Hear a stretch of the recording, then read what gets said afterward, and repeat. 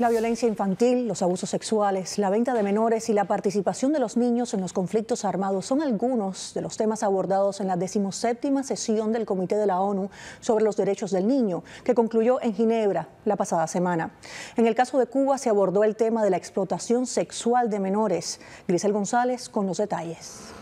Cuba estuvo entre los países evaluados por ser un Estado parte de la Convención de la ONU sobre los Derechos de los Menores. El comité recomendó y abogó por la prevención de la explotación sexual de menores en Cuba a partir del auge del turismo en ese país, producto del acercamiento diplomático con Estados Unidos. El comité reconoció que Cuba está haciendo un esfuerzo, pero pone en tela de juicio la manera de combatir la explotación sexual de menores. Dora Mesa, de la Asociación Cubana de Desarrollo Infantil, dijo al respecto.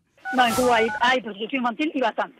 Esto es en concreto. Si el comité un poco reconoce que Cuba está haciendo un esfuerzo, lo cual no quiere decir ni mucho menos que lo acepte o que solo Cuba le dice, pero hay que reconocer que de alguna manera eh, ha tomado algunas medidas. Por ejemplo, Cuba ha extraditado personas que han cometido eh, prostitución infantil en Cuba. La ministra de Justicia cubana, María Esther Reús, dijo en la convención que el país aplica una política de tolerancia cero con todo aquello que atente contra el desarrollo normal de las relaciones sexuales y se sanciona severamente a quienes cometen el delito.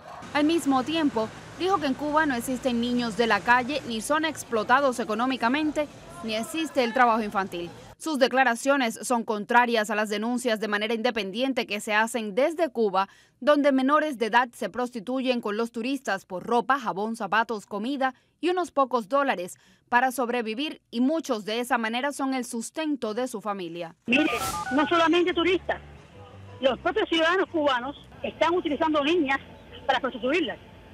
No se falta a remitirse al extranjero. Ya hay niñas en Cuba que se dedican a prostituirse y que cobran 5 dólares, según la zona donde vivan. Hasta 20 dólares pueden cobrar.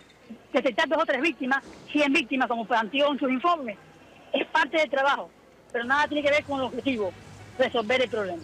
Dora Mesa agrega que uno de los mayores problemas radica en que el gobierno cubano no hace una campaña efectiva de prevención. ¿Qué sucede? Si el gobierno cubano no habla del tema o abiertamente, legalmente, públicamente a la ciudadanía, a mi criterio muy personal, no está haciendo nada. Fue a Ginebra, fue la ministra, un grupo de expertos, pero en la concreta, que es trabajar con la población, ellos dicen que cero tolerancia, ¿no? Yo digo, cero acción. Cuba no publicó que se presentó ante el comité el 29 de septiembre. Ya le digo con esto todo. Nada al respecto, ni una, ni una línea. En la fuente, en el Granma, que es el periódico más importante, o en Juventud Rebelde, que es el de la juventud cubana, nada, nada sobre el tema. Grisel González, Martín Noticias.